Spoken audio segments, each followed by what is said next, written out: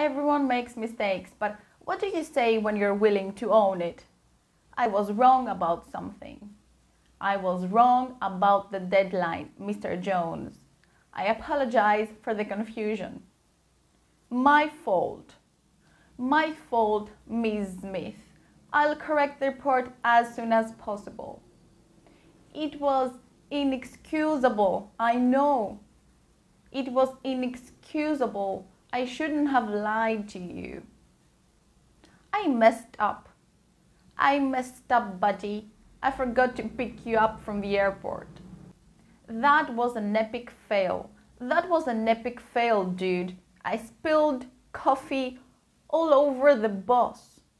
Thank you for putting me in my place. Thank you for putting me in my place, honey. You were right about everything. Now, time to apologize. You're sorry for doing something bad.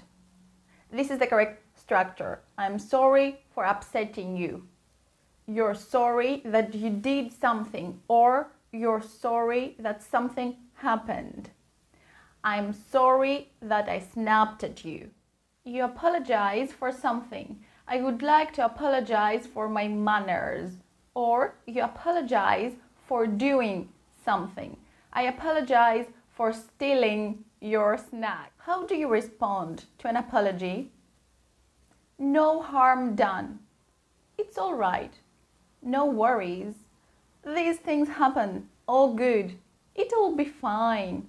I accept your apology. I appreciate your apology.